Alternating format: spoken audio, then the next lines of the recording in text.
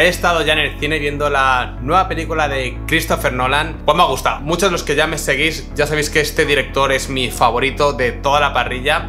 Antes de nada, para los que entréis nuevos en el vídeo, avisar de que el vídeo no contiene spoilers de ningún tipo sobre esta película. Vamos a centrarnos sobre todo en el apartado de los efectos, ¿vale? Vamos a hablar principalmente de la parte de los efectos. Creo que Christopher Nolan como director está prácticamente en otra liga es un director que, saca lo mejor de cada actor. Mucha gente no, habla de este apartado de, de los directores cuando hace sus críticas y es la importancia de los directores a la hora de realizar los castings de actores y actrices para sus películas. Christopher Nolan en esto es un maestro. No vais a ver una sola película de, este director en el que tenga un mal casting de actores. O sea, parece que todos los personajes que, que él crea pone actores a los que les queda el personaje como un guante. En esta película no iba a ser eh, menos. Mucha gente tenía dudas con, con, Robert Pattinson, yo estaba completamente seguro de que Robert Pattinson iba a hacer un papelazo en la película, así ha sido, o sea, Robert Pattinson está que se sale.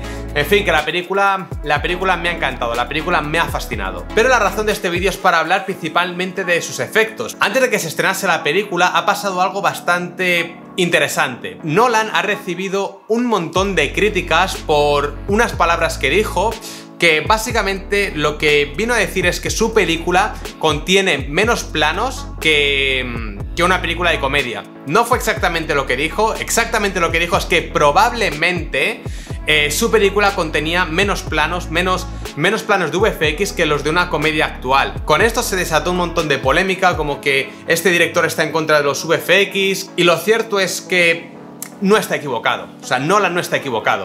Eh, la película dura dos horas y media, es una película bastante larga para ser cine comercial, y cuenta con 280 planos que incluyen VFX. Además, no se ha utilizado croma, no han utilizado cromas para reemplazar los fondos.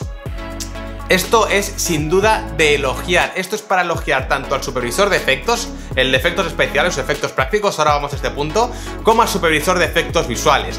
Los dos supervisores han hecho un trabajo junto a este director excepcional para que esto suceda. Estamos hablando de un hito en el cine. ¿Por qué dice Nolan que su película probablemente contiene menos, menos efectos que una comedia? Porque es que esto es así, esto es cierto, esto es lo que está pasando ahora en el cine. Estamos viendo como películas de cine independiente, como pueden ser películas como Parasite, también películas de producción española, o en fin, películas de comedia. Estas películas siempre incluyen trabajo de VFX o de efectos visuales y todas suelen tener a lo mejor más de 500 planos de VFX. Estamos hablando de que Nolan ha hecho una superproducción de Hollywood con 280 planos de VFX Podemos compararla con una película como Los Vengadores, como Avengers, que suelen tener alrededor de los 2000 planos de VFX. Creo que esto es un punto a elogiar y no a criticar de este director, porque en una industria en la que muchas veces se critica el exceso de, efectos visuales, una crítica en la que en parte puedo estar de acuerdo, en parte puedo estar de desacuerdo, esto podría dar para, para otro vídeo, Nolan entiende que su forma de hacer cine es otra, su forma de hacer cine es una forma más tradicional en la que quiere utilizar los efectos visuales como una herramienta única y exclusivamente cuando no le queda otra solución. Todo lo demás lo va a hacer mediante el uso de efectos prácticos. Todo lo que puede hacer Christopher Nolan con efectos prácticos, con set de rodaje, con efectos de explosiones reales, fuegos artificiales, etc., todo lo va a hacer así. Si no le queda ningún otro remedio porque el supervisor de efectos, el supervisor de efectos prácticos o de efectos especiales le dice, oye, mira, es imposible hacer esto de forma real, pues entonces Nolan acude al supervisor de efectos visuales y le consulta a él, vale, no podemos realizar esto de forma real, entonces dime cómo podemos eh, hacer que el rodaje sea lo mejor posible para después integrar los efectos visuales. Ya os puedo decir que a nivel de efectos es una auténtica maravilla, pero para hablar de los efectos es muy importante que primero hablemos del director, tenemos que entender cómo es Nolan o cómo le gusta dirigir a Nolan. Lo primero que quiero comentar sobre, sobre Christopher Nolan es que es un director de la parrilla actual que es muy peculiar, tiene un estilo muy definido en su dirección. Esto también le pasa a Tarantino, le pasa a Scorsese, le pasa, bueno, o le pasaba a Kubrick. Son directores que cuando tú pones una película y la empiezas, a los 10 segundos, o sea, 10 segundos de película ya sabes de quién es esta película, por quién está dirigida. ¿Esto por qué pasa? Pasa porque el director tiene un estilo muy definido y esto no es nada sencillo de lograr. Es súper complicado lograr tener un estilo muy definido en un medio audiovisual. Pues Christopher Nolan obviamente lo tiene. Todas las películas de Nolan se caracterizan además por ser películas con una dirección muy elegante, pero es que esto es, esto me parece que es súper interesante, es que Nolan también es un, es un tipo muy elegante ya de por sí, sea, su forma de vestir, Nolan es un gentleman, ¿vale? O sea, siempre va a los rodajes de traje, eh, siempre va muy bien vestido, muy bien peinado, lo que él extrapola para los demás lo plasma en sus películas, hace un cine extremadamente elegante, incluso en esta película de Tenet los actores van como pinceles, también lo vimos en Origen, lo vimos también en, por supuesto, la trilogía de Batman, Interstellar no, obviamente porque es una película que era más espacial, pero aún así la dirección siempre mantiene cierta elegancia, cierta consonancia, o sea, todo es como todo es como una melodía muy épica en el cine de Nolan, que te puede gustar más sus historias, te puede gustar menos, que a lo mejor luego en montaje recorta o no recorta, etcétera. Estoy hablando de la forma de dirigir del director y es una forma de dirigir muy característica. Lo que hace Nolan también con los efectos es que esta elegancia de trabajar, esta forma tan tan profesional y tan al milímetro de trabajar la plasma los efectos, dando de resultado que solamente 280 planos incluyen efectos visuales, es decir, efectos que están generados por ordenador y todo funciona con una consonancia perfecta, es decir, solamente hay efectos visuales donde hay que usarlos. Y vaya si había que usarlos. Hay una secuencia de la película que a mí me, me estaba explotando la cabeza con lo que estaba viendo. O sea, es una salvajada. Solamente me ha impresionado tanto eh, esta secuencia como puede ser a lo mejor la batalla del Señor de los Anillos, la batalla final, o a lo mejor también la batalla de Endgame, o quizá también por supuesto hablar de otras producciones de Nolan, lo impresionante que era la ciudad de, de Origen cuando se empezaba a doblar y venía la ciudad hacia cámara, o el agujero negro de Interestelar. Si os fijáis, Christopher Nolan ha regalado muchísimo a los efectos visuales, que van a estar ahí para la historia del cine. Esto es así. En mi opinión, creo que con Tenet ha conseguido lo mismo. Esta secuencia final es una cosa que yo nunca había visto en el cine. Cómo está planteada, la calidad de los efectos, cómo se mezclan los efectos prácticos con los efectos visuales, porque obviamente hay partes que tú ves que dices, vale, esto es un efecto visual. De otra forma no podrían haberlo hecho, no había otra forma de hacerlo.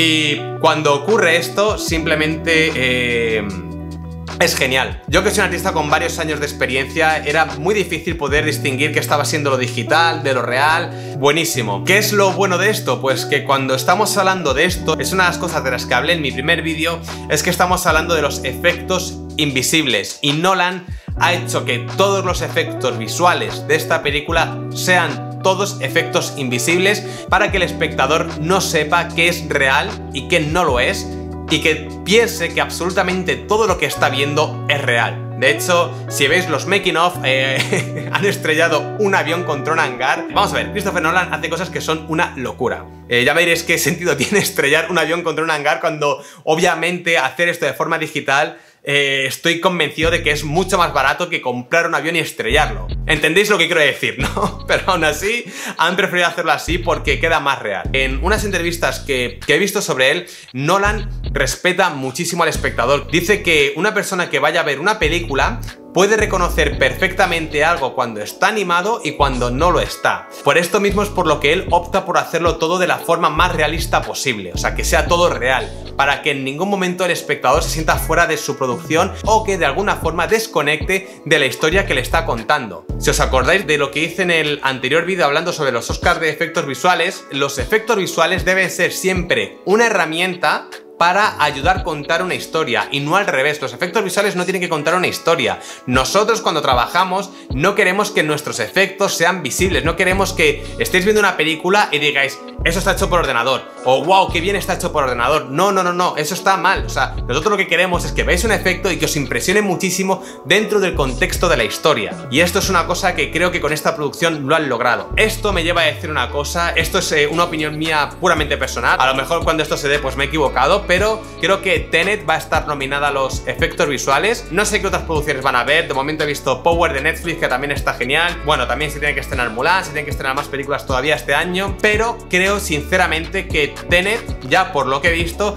tiene muchas papeletas de ganar el Oscar a mejores efectos visuales. Si os fijáis, la, trayectoria que han seguido los Oscars siempre ha sido como dar los trofeos al premio de mejores efectos a las películas que hagan una combinación entre efectos prácticos y efectos visuales. Ya lo vimos con 1917 por usar una técnica de efectos prácticos con efectos visuales. También con películas como Ex Machina, otra película que, bueno, en fin, creo que tenéis todos que ver para lo que veis también lo que es un trabajo súper elegante y súper preciso de efectos. Tenet cumple todos estos requisitos, de verdad, o sea, cumple todos los requisitos que creo que le gusta a la Gran Academia del Cine y es ver que una película utiliza efectos, tanto prácticos y visuales, para apoyar la trama de una historia y sobre todo efectos visuales que están apoyando los efectos prácticos. Esta es la forma que tiene Nolan de, contar su cine, esta es la forma que tiene este director de contarnos sus historias. Creo que una vez más lo ha hecho genial. Nos ha regalado una secuencia que una vez más creo que pasará a la historia del cine, como ya lo hizo el agujero negro de Interestelar o la ciudad está doblándose de, de, origen. No os voy a decir qué secuencia es. Cuando vais a verla o los que ya la habéis visto sabéis perfectamente de qué es lo que estoy hablando. Y es una genialidad. Es una genialidad y es una auténtica pasada. Esto es mi opinión personal como un artista de efectos visuales sobre, sobre esta película, sobre, sobre Tenet, sobre la polémica que ha tenido con los efectos visuales, de las palabras de Nolan que, que fueron mal interpretadas. Es un director eh, muy particular que respeta muchísimo sus producciones y cuando le he visto hablar sobre efectos visuales, por ejemplo, cuando he visto sus entrevistas hablando de eh, los supervisores de efectos que la apoyan, tanto el de prácticos como el de visuales, siempre hablo con muchísimo respeto de ellos y de hecho hay un estudio llamado Double Negative que tiene su confianza, que creo que es el estudio de confianza de este director porque básicamente hacen todas sus películas, o sea, no era siempre que hace una película, Double Negative o Double Negative es el estudio encargado de realizar sus efectos. Así que nada más gente, que espero que os haya gustado un montón este vídeo, que hayáis aprendido también muchísimo sobre todo lo que está hablando de efectos visuales, efectos invisibles, efectos especiales, para que veáis un poco también todo lo que hay detrás de estas producciones. Creo que es un tema que realmente es fascinante. Ya sabéis que si os ha gustado este vídeo y si os gusta el contenido que hago, os podéis también suscribir al canal con el botón de ahí abajo para que sigáis viendo más vídeos que voy haciendo. También me podéis seguir en mis redes sociales, arroba VFX, tanto en Instagram como en Twitter, así como en mi Twitch de Esperando el Render, donde estoy haciendo streamings todos los domingos a las 8 de la tarde. También os espero por allí, por mi Twitch, y compartir este vídeo con vuestros amigos que hayan visto la película o que tengan dudas de ir a verla, por si tienen alguna duda, de verdad, ir a verla merece muchísimo la pena, es una película que tiene que ser palomitera, tiene que ser vista en la sala de cine con palomitas y una Coca-Cola, es lo que se merece de verdad. Dejadme en los comentarios también a vosotros qué os ha parecido, ¿estáis de acuerdo con mi opinión? ¿Pensáis algo distinto? ¿Criticáis también quizá que ha dicho Nola respecto a los efectos o tenéis una opinión distinta a la mía? No lo sé, pues si me lo podéis dejar en los comentarios podríamos tener por allí también una pequeña charla, ya sabéis que me encanta responderos, siempre estoy también respondiendo los comentarios, así que también nos vemos por allí, gente. Y nada más, gente, que me despido, que os mando un saludo y chao, chao.